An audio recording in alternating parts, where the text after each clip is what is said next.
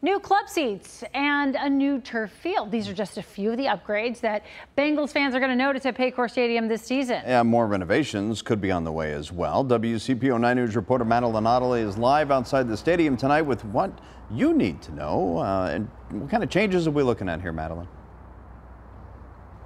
Well, Craig, Tanya, one of the biggest ones you'll see is right out front, a bigger plaza area. You can see construction underway.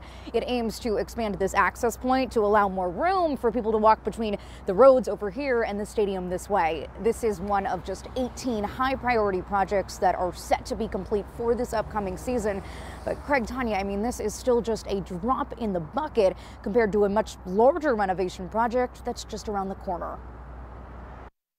We're making the improvements in the stadium that need to be made to keep the stadium relevant structurally. Millions of dollars of upgrades coming to Paycor Stadium this season. Things that are, are specific to the stadium itself that, again, are necessary for operation of the stadium. Like new club seats, turf, and upgraded technology and concession equipment, plus more access from the plaza to the street. Essentially tripling the size of, of that access. Both the Bengals and Hamilton County have put up $39 million each for 18 high priority projects, but there is a lot more work around the corner. One design firm found the stadium will need nearly $500 million in basic repairs. We have to be in tune with what the taxpayers want to do. So, how will they split those costs? That's the big question as the team and county head to the table to negotiate a new lease before the current one expires in 2026. I wish we uh, we're further along at this point, but we are where we are. I think all of us, and I think including the Bengals, would like to get that done sooner than later.